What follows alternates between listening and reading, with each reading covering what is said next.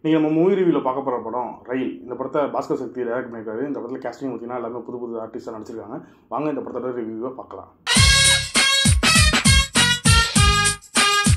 இந்த படத்தோட கதைனா பார்த்தீங்கன்னா வட மாநிலத்தில் உள்ளவங்க எப்படி இங்கே வராங்க இங்கே வந்து வேலைக்கு தர்றாங்களோ அதே மாதிரி தான் நம்மளும் இங்கேருந்து துபாய்க்கு போய் வேலை தேடுறோம் அப்படிங்கிற ஒரு விஷயத்த ரொம்ப சூப்பராகவே இந்த படத்தில் சொல்லியிருக்காங்க. இந்த படத்தோட ஃபர்ஸ்ட் ஆஃப் தமிழ் தமிழ்நாட்டு மக்கள் எப்படி இந்த இடத்துல வாழ்ந்துட்டு இருக்காங்க வட இந்தியர்கள் வந்து எந்த அளவு வளர்ந்துட்டு இருக்காங்க அப்படிங்கிற விஷயத்த இந்த ஃபர்ஸ்ட் ஆஃபில் சொல்கிறாங்க ஃபர்ஸ்ட் ஆஃப் கொஞ்சம் ஸ்லோவாகவே போனாலும் செகண்ட் ஆஃப் அதெல்லாம் தூக்கி சாப்பிட்டுச்சுன்னே சொல்லலாம்.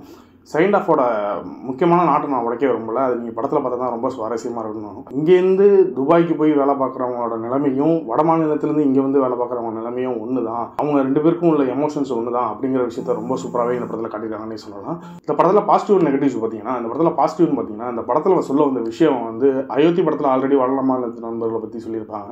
ஆனால் இந்த படத்தில் ரொம்ப சூப்பராகவே அது எக்ஸ்பிளைன் பண்ண விஷயம் வந்து ரொம்ப சூப்பராகவே இருந்துச்சுன்னே சொல்லலாம். ஏன் வட மாநில நண்பர்கள் இங்கே வராங்க அப்படிங்கிற விஷயத்த ரொம்ப சூப்பராகவே எடுத்துக்கிட்டாங்க அது ரொம்ப சூப்பராக இருந்துச்சு. இந்த படத்தோட மியூசிக் மிகப்பெரிய பேக் போன்னே சொல்லலாம். எல்லா இடங்கள்லையுமே மியூசிக் போடல. ஒரு எந்த இடத்துல தேவையோ அந்த இடத்துல மட்டும் ரொம்ப சூப்பராகவே மியூசிக் போட்டிருக்கான்னு சொல்லலாம். இந்த படம் அட்மாஸ்பியர் சவுண்ட்ஸ் வச்சு மட்டுமே போனதுனால வெறும் ஒரு ரா ஆர்ட் ஃபிலிம் ஃபீல் கொடுத்துச்சு.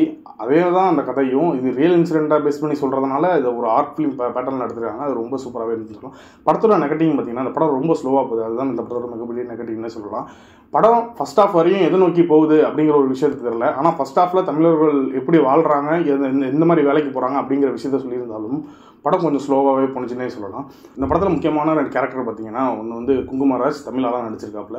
இன்னொருத்தர் வந்து பர்வைஸ் அவர் வந்து வட நண்பராக நடிச்சிருக்காரு. அவர் உண்மையிலேயே வட மாநில நண்பர் தான் அவர். ரொம்ப சூப்பராகவே இந்த படத்தில் நடிச்சிருக்காங்கன்னு சொல்லலாம் ரெண்டு பேருமே.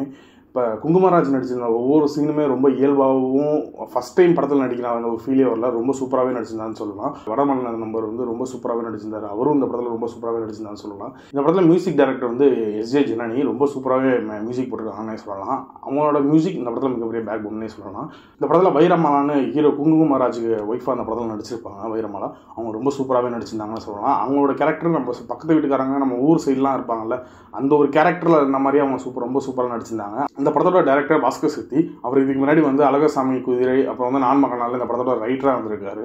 அவரோட டேரக்ஷன் இந்த படத்தில் ரொம்ப சூப்பராகவே இருந்துச்சுன்னு சொல்லலாம். அவர் சொல்கிற விதமும் ரொம்ப சூப்பராக இருந்துச்சு. ஓவரால் இந்த படத்தை ஃபேமிலியோட பார்க்கலாமான்னு கேட்டிங்கன்னா கண்டிப்பாக இந்த படத்தை ஃபேமிலியோட பார்க்கலாம். ஆனால் குழந்தைகள் பார்த்தா அந்த படம் புரியாது. நிறைய பேர் வடக்கன் வடக்கன் ஏன்டா இங்கே வேலைக்கு வரீங்க அப்படின்னு சொல்கிறவங்க இந்த படத்தை பார்க்க முக்கியமாக பார்க்க வேண்டிய ஒரு படமாக இருக்கும். ஃபிலிமாக பார்க்குற ஆடியன்ஸுக்கு இந்த படம் ரொம்ப மிகப்பெரிய ஒரு ட்ரீட்டாகவே இருக்குன்னே சொல்லலாம்.